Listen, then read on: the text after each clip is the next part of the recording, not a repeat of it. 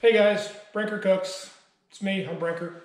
Um, wearing my white t-shirt today and my apron. What am I doing? Something in the bakery? Sorta, yeah. Uh, there's a request in the house for puff pastry. What do we do? We start with uh, a choux pastry or a uh, à choux, if you will. Uh, what is that? It's flour, eggs, butter, water, milk. Pretty much it. So, what do we need to get started? Well, we need eggs. If you look here, see this bowl of eggs and see that egg has poop on it? Um, why is that? It's because these eggs are fresh. We have 14 hens, or I should say Martha has 14 hens. They live about 75 yards that way. Uh, that's where the coop is, that's where the run is. Uh, they're happy, kind of free-ranging chickens. You don't need to put your farm fresh eggs in the refrigerator if they've not been washed. There's a naturally occurring enzyme that protects those eggs for about two weeks on the counter. So that's why you see the eggs behind me. Anyway, so we have eggs. How many? I don't know if you can see it. We have six eggs that I've cracked and put in the bowl. We have a cup of water plus a cup of milk. Two cups of flour. We have a teaspoon of salt. And we have two tablespoons of sugar. Uh, the salt and the sugar are in with the liquid, oyster like liquid ingredient. One stick of unsalted butter, that's what we have. That's what we need. Um, bear with me and I'll be right back and show you how to cook it. Hey guys, I'm back. So what have we done? I'm to turn the camera down. I'm to show you that we brought our milk and our butter and our water to a low simmer. Don't forget sugar and salt. Uh, it's starting to foam up, so I'm to turn that off. I'm to turn the camera down, show you what happens next.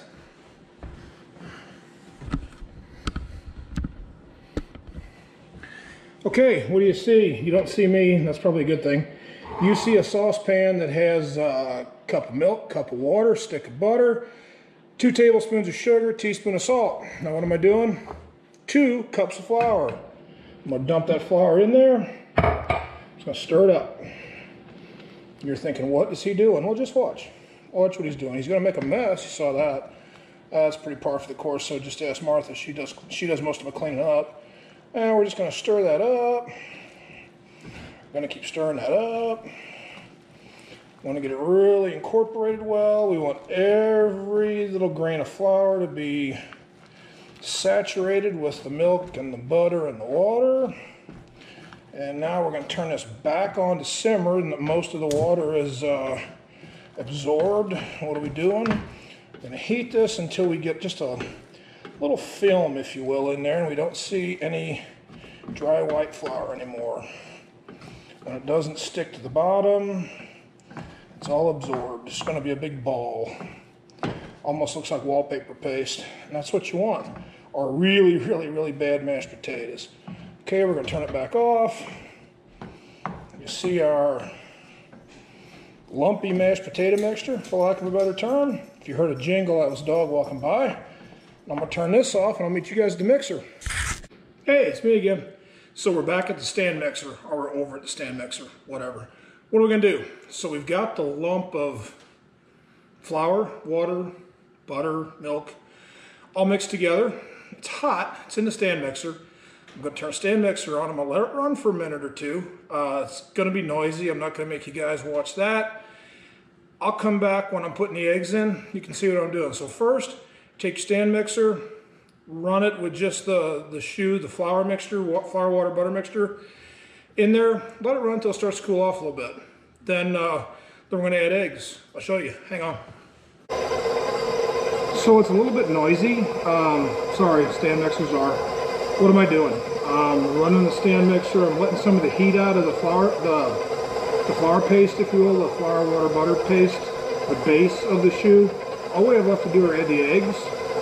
There are six eggs here. We're going to add those couple eggs at a time. Why are we cooling this first? Because we don't want scrambled eggs. Uh, scrambled eggs would just be gross. Hot, hot flour and eggs that are in too soon would just, no. Anyway, hang on, I'm going to turn the camera. Okay. Now you can see what we got going on there. Oh, bounce up a little bit. Sorry about that. So, we're spinning that. We're going to spin that a little faster. We're going to dump in an egg or two. We're going to see what we get. Let's go with one.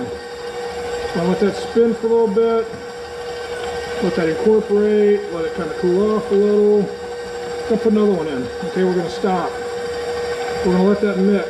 Uh, it's starting to break down.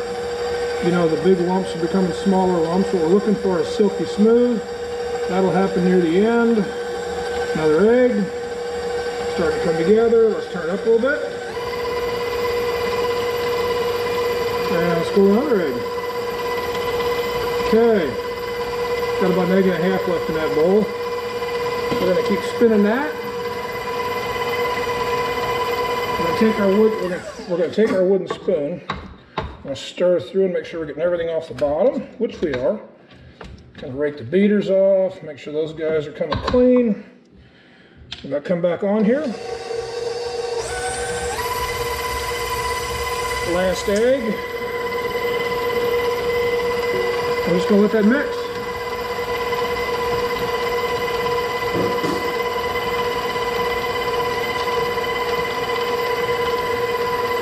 All right, we're going to take that till silky smooth, and I will see you at the cookie sheets. So I'm back. What am I doing? Oven's going to 400 degrees, should ding in a second. I have a large disher. You have to click it twice. It's like a test. Every dude does it like with tongs. You can't pick them up without doing that. Anyway, I'm going to turn the camera. What you're going to see is the big bowl of pastry that we just took off of the mixer, which, to remind you, was the dough that we made on the stove, butter, water, flour, milk, like that. We blended it up with our six eggs, cooled it first, blended it with six eggs, uh, got it nice and gooey, sticky. You want that? You want to develop some of the gluten in the flour because you want your pastries a little tough. Um, I'm going to turn the camera. We'll show you what's going on.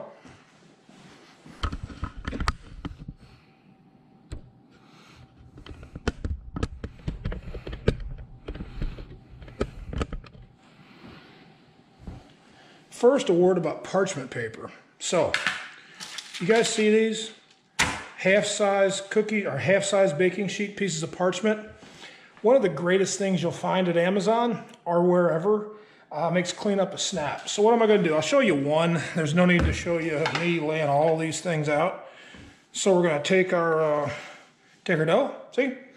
We're gonna drop it out there like that. I'm gonna fill these sheets up. I'll put them in the oven back in a little bit. So what are we gonna do with all these when I get them done? Um, I'm gonna do cream puffs. I'm gonna make a Bavarian cream filling um, or custard filling, one of the two, not sure yet. Something rich with eggs, vanilla, like that. That's how they're best received in the house. My mom used to fill them with chicken salad. They're great filled with tuna salad. They're great filled with whipped cream. It's entirely up to you. You're going to hear me talk about mom quite a bit. You just heard me say mom used to fill them with. Um, it's interesting, when I talk to friends, talk to some of you guys, I hear you say, well, grandma always made this, grandma always made that, but you don't do it. Why not? My mom always made this, she always made that. My mom worked part-time, she took care of the garden, took care of the yard, took care of the kids. My dad worked full-time, plus he farmed. Time was kind of a precious commodity, but she always found time to cook. Um, it was her way to show us that she loved us, you know, if you pan down, maybe she loved this a little too much. Maybe I placed a little too much emphasis on food. But uh, nothing says you have to overeat. That's, that's on me.